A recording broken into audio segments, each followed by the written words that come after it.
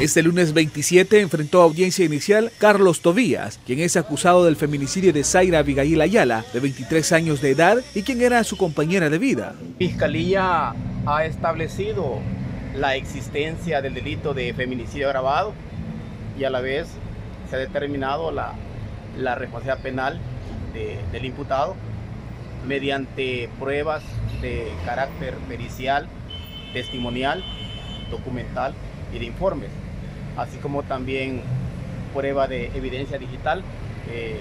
se ha establecido mediante información de extracción electrónica, mediante aparatos tecnológicos, para acreditar, eh, ubicar eh, al imputado en la escena del crimen al momento que la víctima fue asesinada. Según detalló la fuente fiscal, pedirán una pena de 50 años para Tobías, ya que dicen contar con pruebas suficientes para incriminarlo. Las motivaciones de este feminicidio fueron que 19 días antes eh, la víctima descubrió una relación sexual amorosa, ilícita.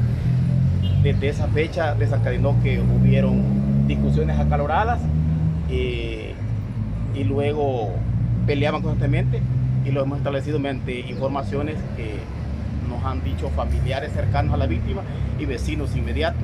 Es por ello que ese es el móvil o motivo, el por qué el imputado asesinó a su compañera de vida. El estado emocional eh, eh, del imputado es que eh, guardó silencio, aceptó los hechos, que le había matado a su compañera de vida y mostró un comportamiento de, de estar arrepentido de lo que había hecho, pero no, pero no demostraba eh, empatía hacia su compañero de vida. Zaira fue asesinada por estrangulamiento el pasado miércoles 22 de enero en su casa de habitación ubicada en la colonia Sandra del Cantón El Pino del municipio de Ciudad Delgado en San Salvador. Informó para la prensa gráfica.com Melvin Alas.